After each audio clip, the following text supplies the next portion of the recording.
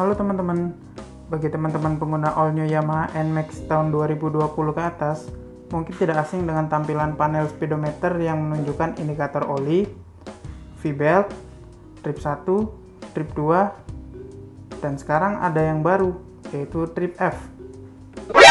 NANI? Ya, trip F. Lalu apa artinya panel trip F ya? Apakah itu menunjukkan ada gangguan pada mesin? Kalau gitu, ayo kita buka lagi manual book yang diberikan dealer ke kita secara cuma-cuma. Langsung kita buka halaman 5 strip 6. Di situ halamannya mulai membahas soal trip meter. Di sini tertulis trip meter F itu menunjukkan kalau kita sudah mulai menggunakan bahan bakar cadangan.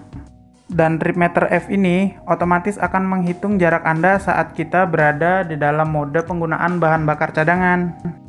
Dan trip meter F ini akan otomatis hilang dari layar ketika Anda telah melakukan pengisian bahan bakar dan berjalan sekitar 5 km. Lalu pada segmen trip meter F ini, kira-kira ada berapa bahan bakar bensin yang tersisa? Coba kita buka halaman 5 strip 4. Di sini diinfokan kalau bensin itu tersisa sekitar 1,7 liter. Jadi, ketika balok indikator bahan bakar sudah mulai berkedip, lebih baik Anda mulai mengisi bahan bakar Anda agar tidak mogok di jalan. Terima kasih.